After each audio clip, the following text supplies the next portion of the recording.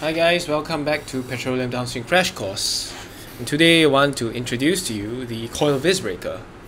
Uh, last video we already talked about what thermal cracking is about and what a vis breaker is. So let's go on to the actual machinery.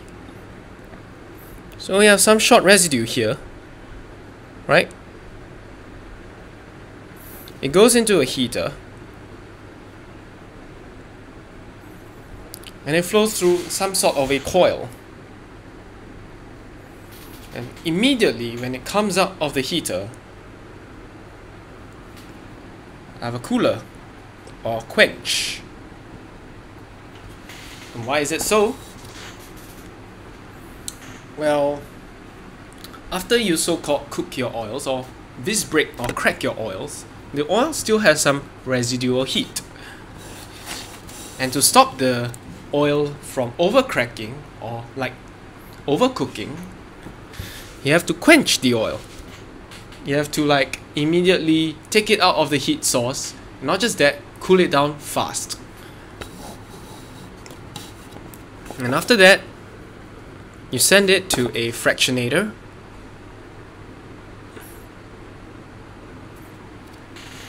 Send it a fractionator. This is a mini atmospheric distillation tower again with the usual trays and stuff, side strippers, everything like that. And what you get, you'll draw off your gas. Here we'll have water. Here some condensates, you reflux. So this is a cracked gas. Here you'll have some methanes, ethanes, and even ethylenes. Sometimes, yep. So you'll have your usual side streams. So here they call it cracked naphtha to differentiate it from normal naphtha. And what's the difference? The chemical structure is different so that the hydrogen to carbon ratio is different. As a rule of thumb, cracked, cracked, cracked products usually have much lower hydrogen content and produce much smokier flames if you burn them as compared to what you get straight from the crude distillation unit or CDU. So here you have cracked gas oils and vis broken residue.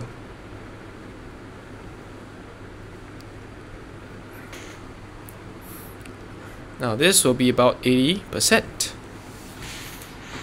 Now there are a few problems with this, right? You know, this stuff is thick. Short residue is very thick.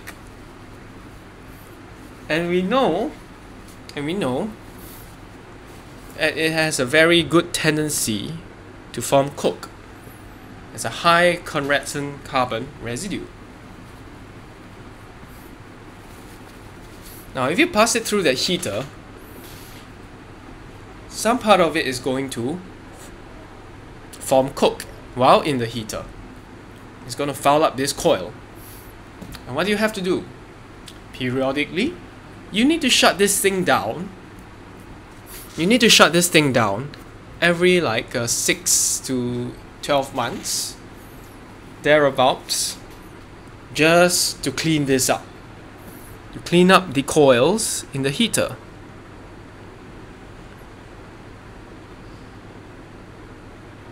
So you can see, you can imagine lots of carbon deposits or coke deposits in the furnace coils. And you need to clean this out every 6 to 12 months. So. and as you know, this stuff is very thick. It can get tend to get stuck here. And the longer it stays in this coil while it's being heated, the more it'll get cracked or cooked. So you don't want to have that. So what sometimes they do is besides cleaning it every 6 to 12 months or 6 to 18, it depends, uh, they inject steam in there. The steam there is to help the the steam there is to help the short residue flow better. So you can imagine when I have steam I I'm like diluting this stuff. I'm making it like a bubble flow. I'm I'm mixing it I'm mixing steam in it. It's a very hot temperature. I'm helping it to flow along because part of it's going to be vapor part of it is going to be gas. Yeah part of it is going to be liquid which is the short residue so this is going to help it to flow a bit better and you reduce the time it stays in the heater.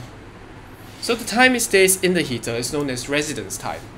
How long does it stay? How long does it reside within the heater or the reactor such that the reaction can take place? So if I inject more steam in there, the steam will force will help to force all my residue through. So you'll spend a lot less time. So more steam will lower your residence time and you know, and thereby I can lower my cracking. So to maximize yield, one can control the heater temperature. If you want to maximize how well you so-called crack your oil, the cracking to max yield Here you can control the heater temperature. And for this particular unit, you have about 450 to 490 Cs.